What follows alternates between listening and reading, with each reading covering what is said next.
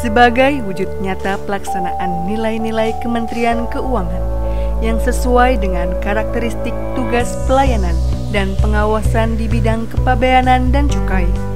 Ada standar perilaku dan semangat bagi setiap pegawai yang disebut sikap dasar pegawai DJPC, jujur, korsa, loyal, inisiatif, dan korektif.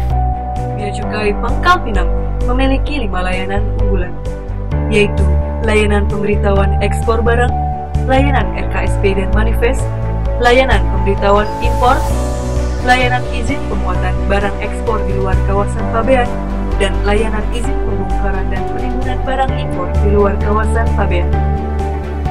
Dalam menjalankan tugas dan fungsi sebagai industrial assistant, Bea Cukai Pangkal Pinang mempunyai peran penting dalam melindungi industri dalam negeri dan persaingan yang tidak sehat dengan industri dari luar negeri.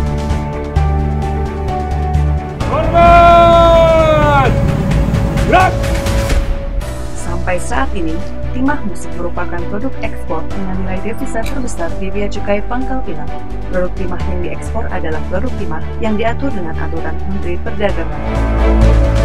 Selain timah, ikan merupakan produk lain yang diekspor dengan negara tujuan Malaysia, Singapura, dan Australia.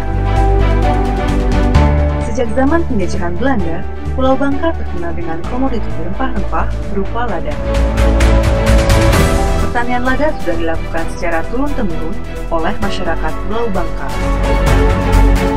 Jenis lada yang berasal dari Pulau Bangka dikenal dengan nama Buntok White Pepper dan sudah terkenal di seluruh dunia karena kualitasnya. Usaha pertanian kelapa sawit dikelola oleh petani lokal dan mulai dilirik oleh investor lokal maupun asing, mengingat nilai ekonomisnya yang tinggi.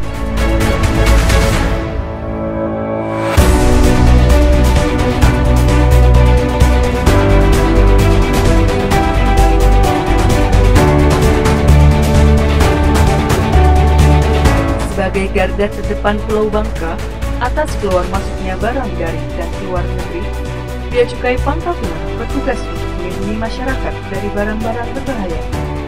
Selain itu, guna menunjang pembangunan nasional, Bea Cukai Pangkal Pinang berupaya penuh dalam mengoptimalkan penerimaan negara, khususnya di bidang kepabeanan dan jumlah.